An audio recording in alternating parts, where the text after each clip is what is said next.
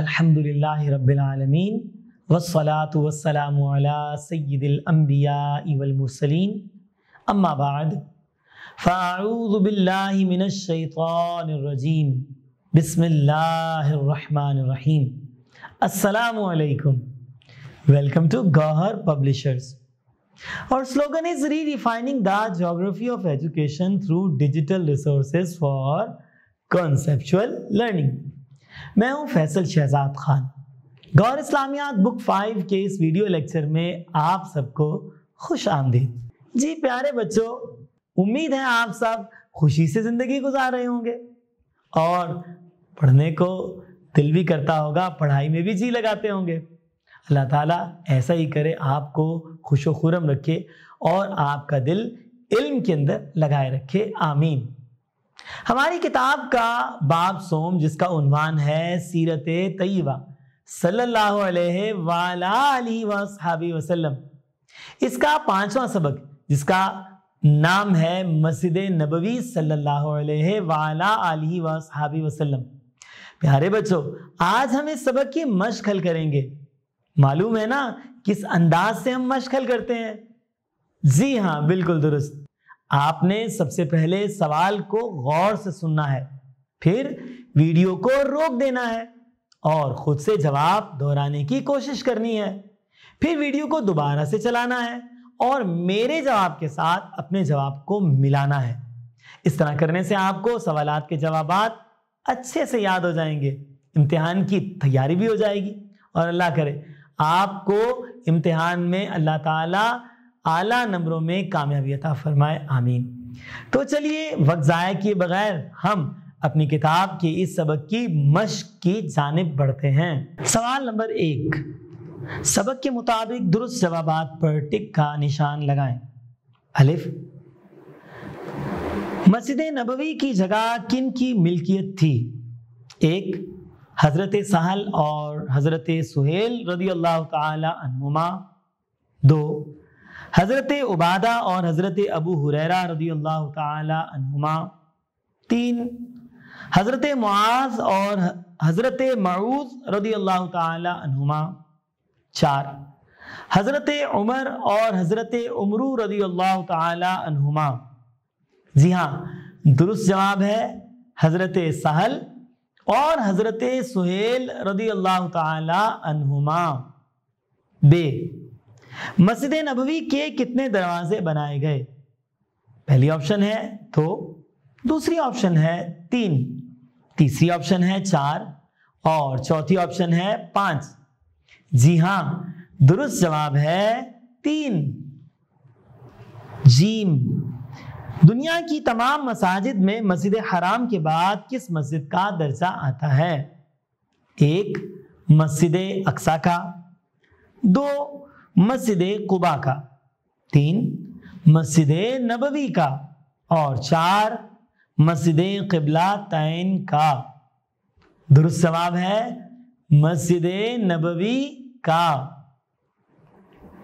दाल, मस्जिद नबवी बनाई गई, एक मुरबा शक्ल में, दो, गोल शक्ल में, तीन, मुस्ततील शक्ल में, चार, तिकोनी शक्ल में। दुरुस्त जवाब है मुरबा शक्ल में। है, मस्जिद नबवी की तोसी नागुजीर हो गई। एक, फतेह बदर के बाद। दो, फतेह उहद के बाद। तीन, फतेह खंदक के बाद। और चार, फतेह खैबर के बाद। भाई, दुरुस्त जवाब है फतेह खैबर के बाद। सवाल नंबर दो कालम अलिफ को कालम बे से मिलाएँ। कालम अलिफ की पहली लाइन को कालम बे की चौथी लाइन से मिलाएँगे। दूसरे मुल्कों और कबीलों से आने वाले वफूद को मस्जिद नबवी में ठहराया जाता। कालम अलिफ की दूसरी लाइन को कालम बे की पांचवी लाइन से मिलाएँगे। जिहाद पर रवानगी से कबल तमाम साहब कराम रदी अल्लाह तहुम मस्जिद नबवी में जमा होते। कालम अलिफ की तीसरी लाइन को कालम बे की पहली लाइन से मिलाएँगे। असहाब सुफ़ा, दीन की तालीम हासिल करते और नबी करीम सल्लल्लाहु अलैहि वसल्लम की खिदमत के लिए हर वक्त तैयार रहते। कालम अलिफ की चौथी लाइन को कालम बे की दूसरी लाइन से मिलाएँगे। मस्जिद नबवी सिर्फ़ नमाज़ के लिए ना थी, बल्कि एक यूनिवर्सिटी का दर्जा रखती है। कालम अलिफ की पांचवी लाइन को कालम बे की तीसरी लाइन से मिलाएँगे। खुलफाए राशिदीन रदी अल्लाह तहुम ने भी अपने अपने दौरे हुकूमत में मस्जिद नबवी में तोसी करवाई। सवाल नंबर तीन, दुरुस्त लफ्ज लगाकर खाली जगह पुर करें। अलिफ हिजरत मदीना के बाद नबी करीम सल्लल्लाहु अलैहि वसल्लम ने डैश की तामीर का हुक्म दिया। दुरुस्त जवाब है, मस्जिद नबवी। बे, इब्तदा में मस्जिद डैश के बगैर बनाई गई। दुरुस्त जवाब है, छत। जीम मस्जिद के साथ अजवाज मुताहरात रदी अल्लाह के लिए डैश बनाए गए। जी हाँ हुजरे, दाल। नबी करीम सल्लल्लाहु अलैहि वसल्लम का रोज़ा मुबारक डैश में है। दुरुस्त जवाब है, मस्जिद नबवी है। फतेह खैबर के बाद मुसलमानों की तादाद में डैश हो गया। दुरुस्त जवाब है, इजाफा। सवाल नंबर चार। मुंदरजा झेल सवालात के मुख्तर जवाब दें। मस्जिद नबवी की तामीर के चंद अहवाल लिखें।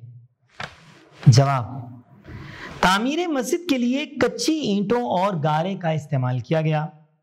मस्जिद मुरबा शक्ल में बनाई गई और मस्जिद के तीन दरवाजे बनाए गए। साहब कराम रदी अल्लाह तहुम ने थोड़े थोड़े फासले पर खजूरों के तनों के सुतून खड़े किए और इन पर खजूर की शाखें, पत्ते और घास डाल दी। इब्तदा में मस्जिद छत के बगैर बनाई गई। बे, मस्जिद नबवी की फजीलत में एक हदीस लिखें। जवाब, नबी करीम सल्लल्लाहु अलैहि वसल्लम ने फरमाया, मेरी इस मस्जिद में नमाज़ मस्जिद हराम के सिवा तमाम मसाजिद में नमाज़ से एक हज़ार दर्जा ज़्यादा अफसल है। जी, रियाजुल जन्ना किसे कहते हैं? जवाब, मस्जिद नबवी के मिंबर और रोजा मुबारक की दरमियानी जगह को रियाजुल जन्ना कहा जाता है। दाल, असहाबे सुफा कौन थे?